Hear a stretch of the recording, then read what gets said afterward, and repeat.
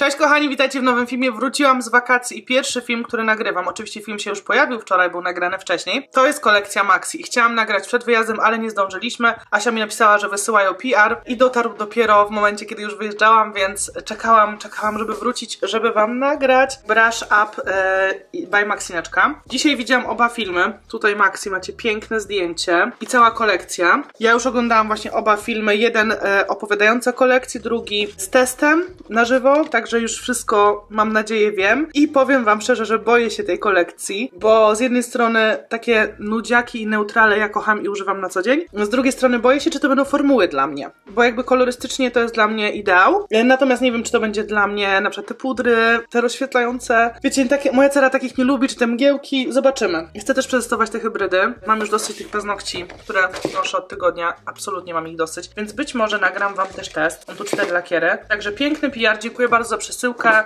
i tylko dlatego nie kupiłam wcześniej tej kolekcji, bo normalnie chciałam ją kupić, ale wiedziałam, że przyjdzie, więc nie ma sensu. No i właśnie, naczytałam się komentarzy, piękna ulotka, bardzo ładnie to zrobiona. Naczytałam się komentarzy i u Maxi, i u mnie na live, jak rozmawialiśmy o tej kolekcji, że nudna kolekcja, że yy, szkoda, że limitowana, bo jak polubicie to co, co wtedy? No ale muszę wam powiedzieć, że większość kolekcji influencerskich są kolekcje limitowane, no bo po pierwsze podpisujemy umowę z jakąś marką, prawda? Tak jak ja też miałam współpracę swoje, czy mam, e, podpisujemy umowę na jakiś tam czas i to nie może być do końca życia w Rossmanie. Taki Rossman czy Hebe też mają swoje plany. Także ogólnie mi się podoba. Wizualnie wiem, że tutaj parę osób pisało, że te kamienne rzeczy są już niemodne, ten marmur. Mi się to podoba, to jest bardzo eleganckie. O wiele bardziej mi się to podoba niż to, co Maxnieczka zawsze wypuszcza, czyli czarno-złote, czego ja nie przypadam za tym, bo dla mnie to już, y, to już nie jest na czasie. Dla mnie wolę jasne kolory w makijażu, jeżeli chodzi o opakowania, wolę jasne, po prostu wolę jasne. Dlatego się ucieszyłam, jeżeli chodzi o te opakowania i nie mogłam y, się,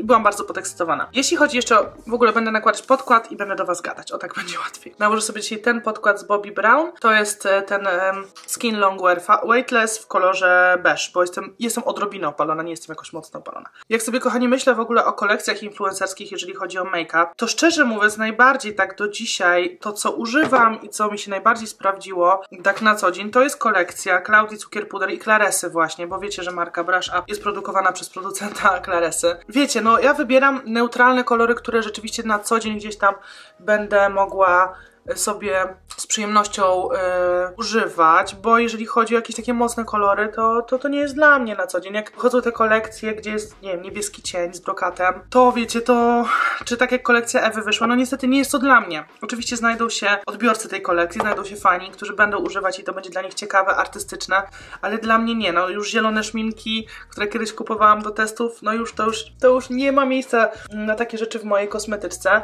Także kolekcja Claudii Cukier Puder, super. No nie wiem, teraz kolekcja Gen Z też, takie odblaskowe bardziej kolory, e, czy jak Ingrid wypuszcza z influencerkami, to też te niektóre rzeczy są nie dla mnie po prostu. Ja patrzę użytkowo pod, um, pod właśnie takie kolekcje, czy ja będę tego faktycznie używać, czy to poleci w kąt, czy gdzieś tam do oddania. Także myślę, że ta kolekcja jest kolorystycznie fajna. To mi się bardzo, bardzo podoba i w ogóle bardzo Asi gratuluję, bo to jest w jej stylu. I tak jak mówię, mi się bardziej podoba właśnie w tym, w, tej, w tej otoczce takiej ala kamiennej, ala marmurkowej, jest dla mnie to eleganckie, a nie czarno-złote. Tak, uważam, że czarno-złote to już nie jest to. Poprzednia paletka Maxineczki wyszła w 2018 roku, więc kawał czasu temu yy, i ta paletka Beauty Legacy nie była moją ulubioną ze względu na kolory właśnie. To nie były moje kolory. Wtedy też była inna moda na makijaż. Maxi wtedy też zrobiła pod siebie na makijaż, który wtedy robiła. Ten korektor teraz poleci pod oczy. I wiecie, i ten fiolet, który mi nie przypasował i tam pamiętam był taki róż. Chyba rozświetlacz też był dla mnie za ciemny, z tego co pamiętam. Jestem bardzo ciekawa, jak wypadną z kolei te kosmetyki. Cenowo kolekcja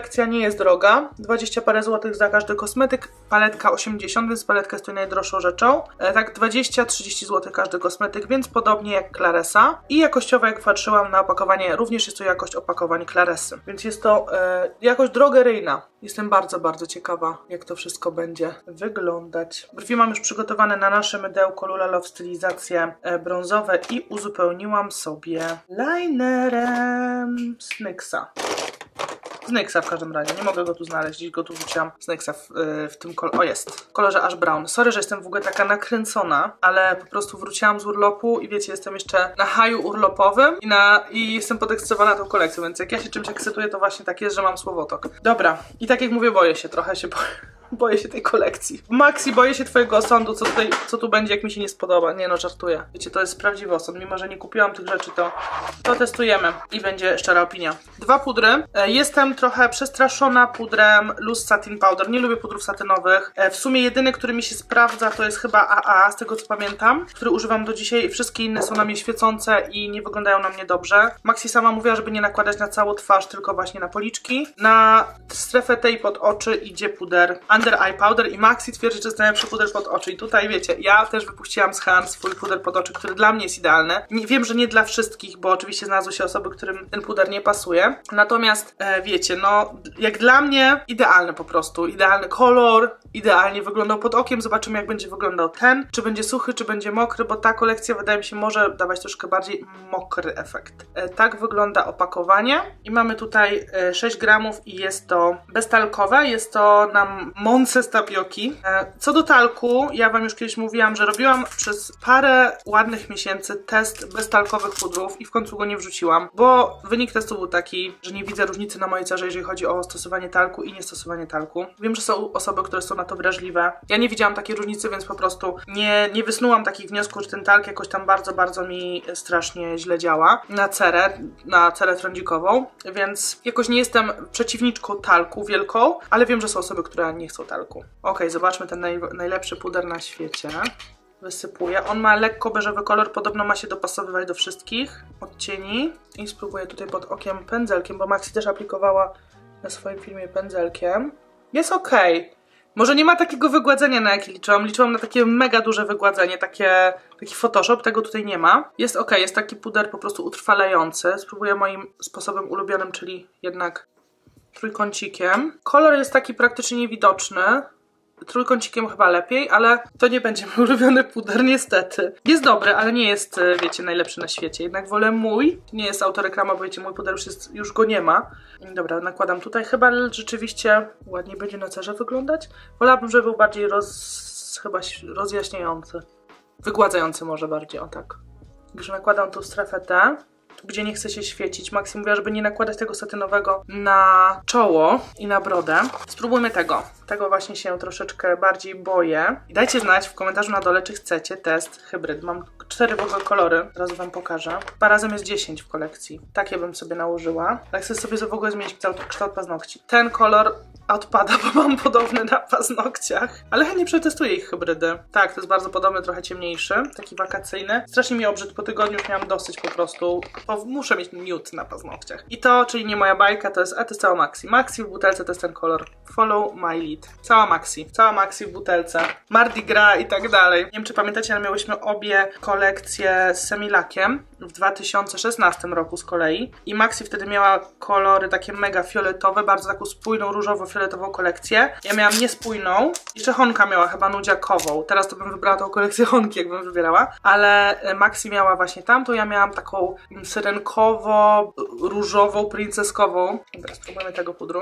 Tu mamy 8 gramów. Tu mamy 6. Ja bym dała tutaj więcej, jeżeli mamy go używać na, na strefę tej pod oczy, to bym dała tu więcej. Tak, tak mi się wydaje, bo tego chyba będę używała mniej. Nie wiem, zobaczymy. Który tu pędzel wziąć? Ten wezmę puchaty. Boję się tego pudru. Boję się, że będę się świecić.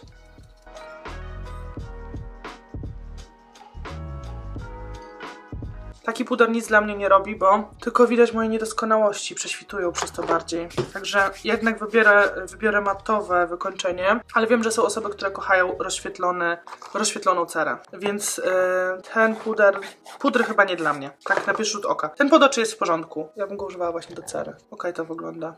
O! Faktycznie jest bardzo gładki pod okiem. Bardzo gładki, taki miałki. O, Maksym że jest miałki. Dobra, mamy dwie palety. Bardzo mi się palety podobają. Jak zobaczyłam je w Rossmanie, bardzo mi się spodobały. To, że są papierowe, ja bardzo takie lubię. Są eleganckie. To są takie, jakbym sama kupiła, sama bym takie zrobiła. Gdybym miała robić paletę swoją, to pewnie byłaby podobna. Bo mówię, to jest taki styl jak właśnie Klaudia Cukier Puder. Tamta paleta była jaśniejsza. Ta jest ciemniejsza, to jest ta Sun Chaser i Max ją pokazywała u siebie. Tu jest ta, y, która jest niby do chłodniejszych typów urody, tutaj też dziewczyny wiem, że szczepiały, że jest nadal ciepła lub neutralna, nie jest chłodna wcale, nie, nie ma tych chłodnych typowo kolorów, nadal są dosyć ciepłe, tu jest taki chłodniaczek, brązik, ale ogólnie nie są to bardzo chłodno cienie, na pewno bronzer nie jest bardzo chłodny. Ale ja sobie po prostu przetestuję na sobie, jak to będzie wyglądało. Te błyszczące cienie mamy nakładać paluszkiem i zobaczymy, jestem ciekawa rozświetlacza. Czekajcie, maznę ten, bo wiecie, że ja mam też specyficzny gust, jeżeli chodzi o rozświetlacze. Zobaczymy na policzkach, czy będą intensywne, czy nie.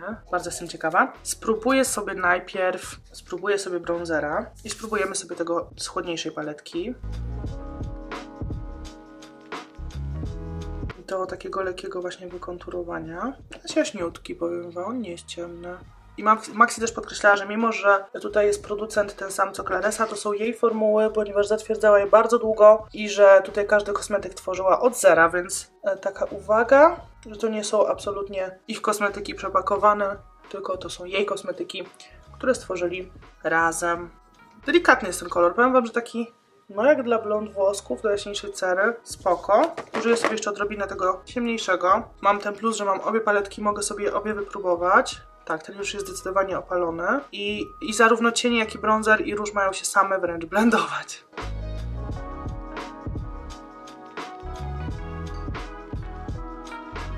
W ogóle muszę Wam powiedzieć, że podoba mi się koncepcja paletek takich całościowych do makijażu, e, gdzie mamy i cienie i właśnie i trio do konturowania, to mi się jak najbardziej podoba. Tutaj e, na jednym policzku spróbuję sobie tego jaśniejszego różu, który wydaje mi się, że będzie troszeczkę dla mnie ładniejszy, ale mogę się mylić. Jest ten jaśniejszy, bardzo świeży, ładny. Bardzo mi się podoba ten kolor. I na drugim policzku spróbuję drugiego. Mhm, I ten już jest taki Widać różnicę? Myślę, że widać. Jest ciemniejszy, jest do opalonej skóry. Odpowiednio mi się bardziej podoba ten, mimo że jest chłodniejszy, to mi się bardziej podoba jakoś tak. To, że jest bardziej taki cukierkowy, nie wiem. Dobra, dołożę tego ciemnego tu. Teraz będzie rozświetlacz, czyli to, czego się najbardziej obawiam. Spróbuję sobie tego jaśniejszego najpierw, czyli tego. A nie, jest ładny. Boże, bałam się, że będzie niewidoczny na mnie. Nie wiem, dlaczego miałam takie przeświadczenie. Maxi mówiła o eleganckim błysku, który właśnie podkreśla faktury i tak dalej. Ja mówię, Boże, to nie będzie go widać. Dać, jest spoko. Jest spoko. Ten jasny mi się podoba. Boję się, że ciemniejszy mi się nie będzie podobał, bo ja wolę jaśniejsze. Wiecie, że ja wolę białe, srebrne rozświetlacze. A wy zawsze mi piszecie, że lepszy złoty. A też ładny. Oba są ładne. Ten mi się bardziej podoba. Wam pewnie ten będzie się bardziej podobał. Dobra, dokładam tego. Muszę je teraz wyrównać. Muszę je troszeczkę pomieszać. Ładne! Wiecie, że ja muszę mieć dużo rozświetlacza. Produkty do konturowania spoko, bardzo fajne. Bardzo fajne. No, spróbujmy sobie tą mgiełkę, bo muszę chwilkę w niej posiedzieć, żeby wyrobić sobie zdanie. Boję się tej mgiełki, ona jest dwufazowa i ona ma nie mieć drobinek. E, jest to mgiełka odświeżająca, zmniejszająca pudrowość i ta mgiełka ma niestety zmniejszać trwałość makijażu. Przez to, że ona jest właśnie taka z wykończeniem glow, pewnie ma trochę jakiegoś czegoś tłustego, olejki, więc tego się boję. Nie wiem, czy można ją na całą twarz nakładać, czy nie. Że Max też pięknie na dekolt. Jest bardzo drobna. Błyszczy się na razie, widzę. Nie wiem, czy mogę ją na czoło nałożyć. Na pewno jest to ciekawsze, wiecie, że, że Maxi wypuściła mgiełkę, która właśnie daje takie wykończenie, bo tych matowych mamy na rynku sporo. Chociaż nie wiem, czy nie fajnie byłoby mieć obie wersje, ale na, no mówię, na rynku jest sporo matujących, a takich nawilżających mało. Podobno chwila, zanim ona zacznie działać. Czy tak z daleka psiknę. No, zobaczymy. Ok, lecimy z oczami i cienie nie są podpisywane tutaj y, celowo, ponieważ Max powiedział, że nie będzie marnować miejsca, a i tak wiadomo, nikt nie korzysta jakoś tak bardzo z tych nazw, a jak nie będziemy robić tutorial wam, to można pokazywać czy, czy, czy oznaczać. Więc tak, tutaj ta paletka cieplejsza ma y, takie błyszczące kolory, ma tutaj taki kolor to jest ładniejszy. W tej chłodniejszej jest ładniejsze moim zdaniem, bo tu jest taki bardziej burgundowy ten kolor. Widzicie? Taki średni. A tu mamy bardziej w brąz. Mi się bardziej podoba ten w brąz. I też mamy błyski. Ja sobie zasłuczuję teraz te błyski z ciepłej paletki, czyli Sun Chaser. Mamy trzy błyski, które nakładamy właśnie palcem. To, to właśnie jest ta Sun Chaser. I zobaczymy sobie drugą paletkę. Tu mamy te jaśniejsze. Obie mają bardzo ładne błyski. Podobają mi się. Matowe formuły mają się blendować same, natomiast te błyszczące mamy nakładać paluszkiem. To są takie bardziej sprasowane pigmenty. Biorę sobie tą paletkę, jakoś tam mi bardziej wpadła w oko, nie wiem dlaczego. Jakoś bardziej mi się po prostu podoba, przyciągnęła mnie. Mamy duże lusterko w każdej palecie, więc robimy makijaż tą paletą. Na, jako bazę mam nałożony korektor i zaczynam sobie od tego jasnego waniliowego matowego cienia i nakładam tutaj w wewnętrznym kąciku.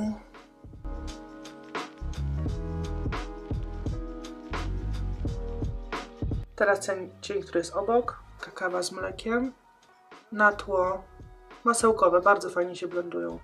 Nie widzę osypu. Ten błyszczący kolor nałożę sobie tutaj pod łuk brwiowy. A czekajcie, palcem może właśnie. Jest taki miałki. Żeby tu łapał światło. A błysk na całą powiekę pójdzie ten. O, tutaj trochę powiem Wam, że mógłby być bardziej.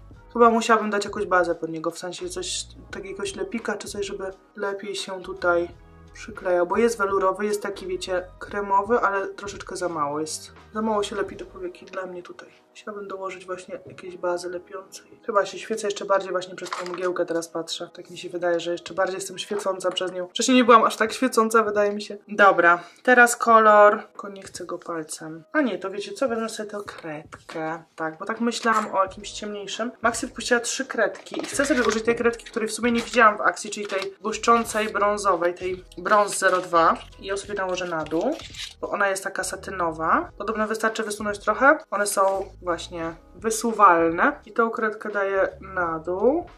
Ona jest żelowa, faktycznie jak masełko i rozcieram. I kredki mają być bardzo, bardzo trwałe do zmywania na tłusto. Mają się bardzo dobrze trzymać. Na górę użyję sobie tej kredki w kolorze Dark Brown 03. Cieszę się, że nie czarna, tylko że brązowa. Wiadomo. Mm, jest mięciusieńka. I ta jest tego co pamiętam matowa, bo tamta była właśnie satynowa. To jest matowa. Jak Maxi powiedziała, ona działa jak żelowy eyeliner, więc nakładamy jej mało. Bardzo napigmentowana i szybko rozcieram.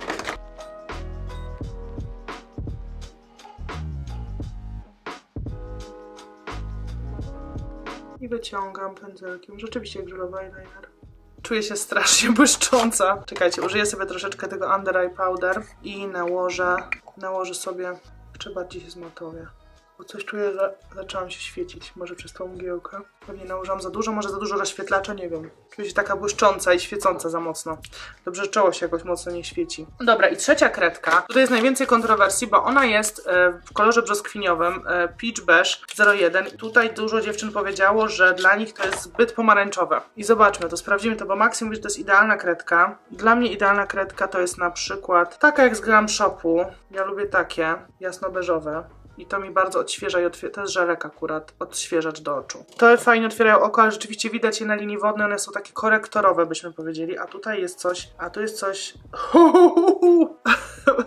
pomarańczowego. Tego się boję, tego się boję. Maxi to ma na zdjęciu wygląda pięknie, ale zobaczymy. Z drugiej strony, jak jest brzoskwinia, to może ładnie podkreślić jasne oczy. Zobaczymy.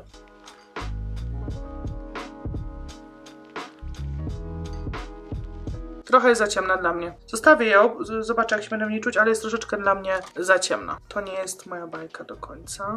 Niby, nie wiem, niby otwiera oko, mogła być trochę jaśniejsza dla mnie, o tak. Jestem przyzwyczajona może do jaśniejszych. O, y, ta jest rzeczywiście najciemniejsza, jaką nałożyłam chyba. Otwierająca. Dobra, e, rzęsy i wytuszuję sobie rzęsy tutaj e, tym tuszem. Z Gram Shopu akurat tusz do rzęs Lux. Akurat mam go tu pod ręką, więc najpierw zalotka.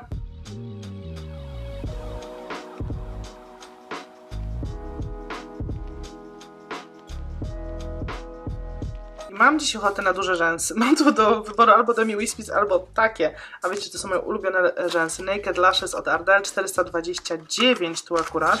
Ale podejrzewam, że całych tu nie przykleję. One troszeczkę wyglądają jak takie większe e, kępki. Są mega długie. Wow! O, takie, takie rzęsiory. Także myślę tak, że całych nie przykleję, bo to będzie za dużo. Ostatnio fazę na takie rzęsy. O, żeby były takie. Tutaj tą końcówkę całą ciachamy. Ok, i są przycięte. Bardzo lubię te rzęsy z cyklu Naked od y, Ardell, bo one są takie leciutkie, praktycznie niewyczuwalne i bardzo proste do przyklejenia, więc to może być naprawdę fajny pomysł. Jak chcecie sobie nauczyć się kleić rzęsy, to polecam Wam właśnie te Naked, ale trzeba przyciąć do długości oka. Y, Klej jak zawsze ten sam. Linki do wszystkiego są na dole. Wow, ale super łatwo się przykleja. Ach, jak mi się podoba to oko. Podoba mi się naprawdę. Tak, ta paletka jaśniejsza jakoś bardziej mi wpada w oko. Może dlatego, że jak widzę już jakiś cień, który mi nie pasuje, a tam jest właśnie ten taki wpadający w burgund, to już nie będę jej tak często używać. Jakoś muszę mieć wszystko tak, wiecie, pod siebie i ta jest dla mnie bardziej idealna. No, raz, dwa i pięknie oko wygląda. I przechodzimy do kontrowersji, czyli do kremowych konturówek. Ja lubię zastygające niestety. Czuję, że muszę tu przeprosić Maksineczkę, ale wiem, że część z Was też lubi zastygające. Lubię formuły yy, takie jak Maybelline ma konturówki, czy Glam Shop, to są moje ulubione. Natomiast nie lubię niezastygających, bo się rozmazują. Wczoraj miałam właśnie taką niezastygającą z Catrice i wiecie, i miałam pięknie pomalowane usta wyombrowane. Ombre miałam zrobione, no i co, i po jedzeniu, po obiedzie od razu się zjadło i brzydko to wyglądało, więc no takie... Ja wiem, że Maxi mówiła, że te konturówki są w zamyśle troszeczkę takie jak pomadki, że możecie nakładać na całe usta, nie będą spierzchnięte, nie będą wysuszone, więc no jeżeli chcecie właśnie w takiej formie, to spoko, jeżeli możecie poprawiać. Ale nie zawsze możemy poprawiać. Tak jak na ślub, to nie wiem, czy bym chciała poprawiać, szczerze mówiąc. Dobra, zaczynamy od 01, która wpada w taki trochę róż. Pink Nude. W ogóle wszystkie są nude, wszystkie są w kolorze nude. Także tak, przetestuję Wam wszystkie combo, żebyście mieli pełny obraz, jak wyglądają te usta. Oczywiście Maxi mówiła, żeby mieszać yy, i na filmie też mieszała. Teraz 01.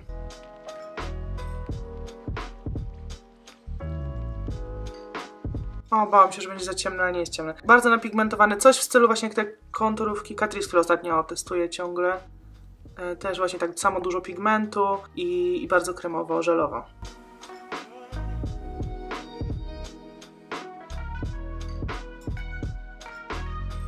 No, faktycznie może to być pomadką, bo teraz wiecie, rozmazam i jest to błyszczące, takie satynowe, nie jest to matowe, e, więc tak to wygląda 01. Bardzo ładny kolor, bałam się, że będzie ciemny, nie jest ciemny i lecimy z kolorem 01. Nie wiem ile tutaj tego błyszczyku jest, bo nie wiem ile gramów, żeby wam powiedzieć, nie mam pojęcia. Ładnie pachnie, owocowo. Aplikator taki z dziurką, co kiedyś L'Oreal wprowadził lata temu, ale wydaje mi się dosyć mało tego błyszczyku, nie wiem, że mi się wydaje, nie mam pojęcia ile to jest.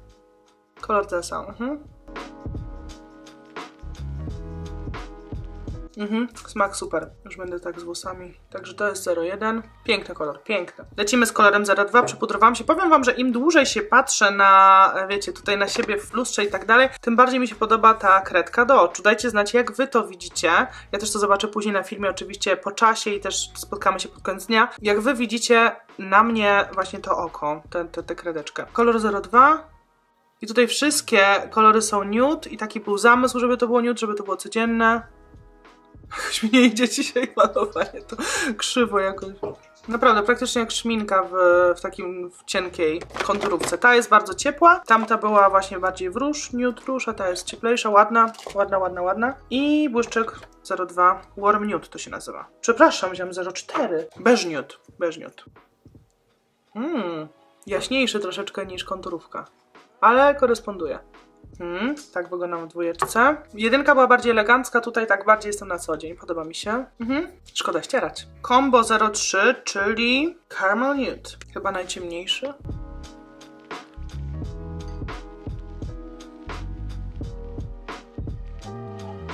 Czekajcie, nie będę nakładać na całe usta. Dołożę sobie teraz błyszczyk w tym samym kolorze. Zobaczymy, czy błyszczyk mocno kryje, czy nie. Jaśniejszy jest. Ale ładnie pasuje. Naprawdę ładne tworzy um, usta w stylu ombre. Pięknie. No to właśnie wczoraj miałam coś takiego, tylko z, z Catrice, z produktami i zjadłam to i byłam niezadowolona. Więc tutaj z tą trwałością trochę jestem niezadowolona, że nie zastygają, no ale każdy lubi co innego. To jest 0,3, no i jeszcze 0,4. Bardzo łatwo się zmywa. Dobra, i lecimy z ostatnim miksem. 0,4, czyli Warm Nude.